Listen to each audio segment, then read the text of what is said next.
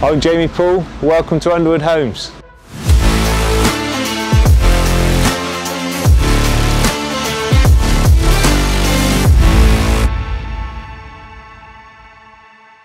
Today we have got Darren and Teddy coming. Uh, they have got some steels for us and we're going to be lifting them on the house. We've got two uh, that are sitting on this corner going all the way across to here, sitting on top of another steel across this bifold and then we are bolting two more steels into the side of them. So all across there as well. And that's going to mean we can lose this pillar in the middle of the kitchen. So that's what we're doing today.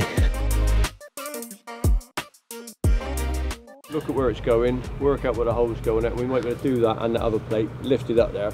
Instead of doing it up there, we'll do it. And then, yeah, we've got a plan. you got a plan. All right. So i'll just bring the forks down yeah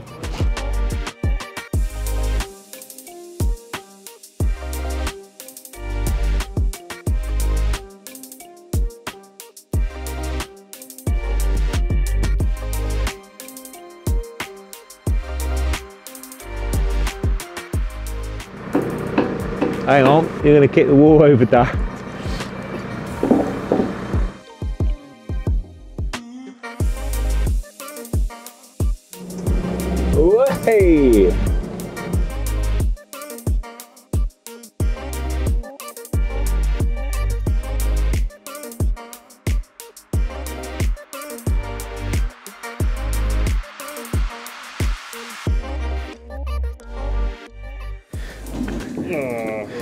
Back in an inch. Go on the inside in there, like. Yeah, maybe up a bit. Up on top of the bricks, but in line with that, that's it. You got it? That's your centre line. Right, Yeah. that's your centre line, that one go in there. So if you hold that,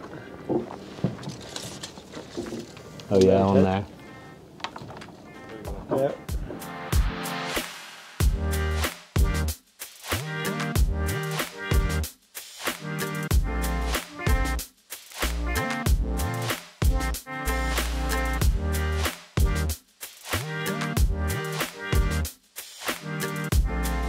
So we've got the first three on.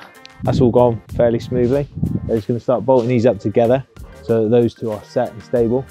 And then we can start getting the other two in going that way. Going to be a bit more tricky because we can only sit them on one end. And we've got to kind of hover at this end with the forklift while we, uh, while we bolt this end up. So that should be interesting.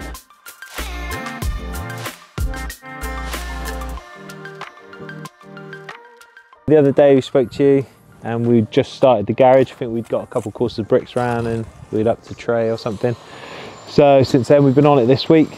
Got all the inside up to six courses round and then we've backed it up as well. Because the ground's so wonky here, we're going to get scaffold about here. Normally you'd want scaffold a bit higher but we can't really reach any further because the ground's down. So we're going to get quite a low scaffold um, but it just make our life easier than trying to struggle and get some more height on it. So yeah, it's that time of year now, the weather's starting to uh, get really chilly. So whenever we build something now, every night we just cover it up with Hessian or as soon as we finish building it, cover up with some Hessian. That just keeps the frost off it because if the frost, while the cement's still wet, if the frost gets in there, it can just kill the cement like and ruin it and, and it doesn't go off properly and things like that.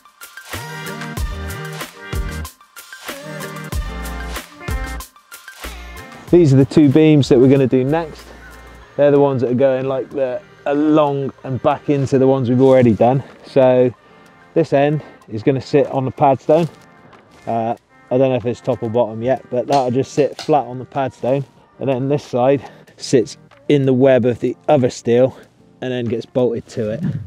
Um, so this is one I'm kind of imagining is going to be a little bit awkward when we're actually up there trying to get it in.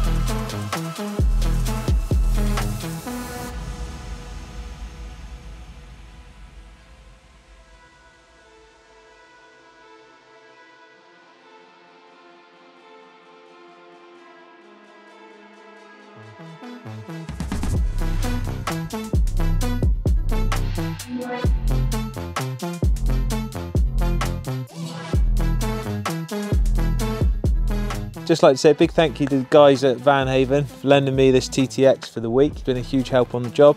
I had it over the weekend, it's perfect. The wife and the kids in the back and it's still like a really nice car inside. But then I can fit all my kit in the back and I can drive it anywhere as you can see, you know, big tyres, it's been raised, it's perfect for site.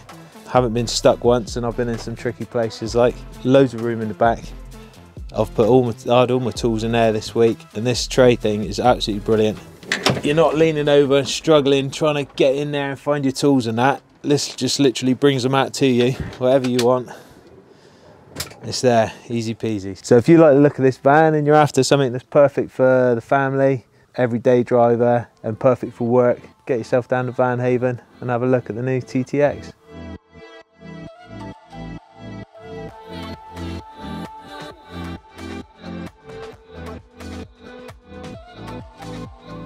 Steels are in.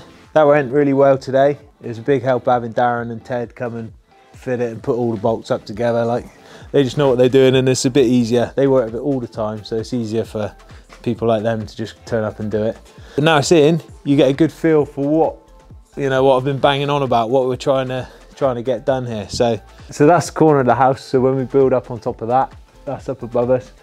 Uh, the, the rest of this is all flat roof so they have some nice roof lanterns in them, big open windows, letting loads of light in. So that bit looks good. The reason we had to put such beefy steels in, originally there was uh, like a, a pillar. We are gonna have to build a pillar here and that would have looked a bit Mickey Mouse like in the middle of the kitchen. Whereas now we've created this big open plan kitchen diner kind of thing and it just looks loads better.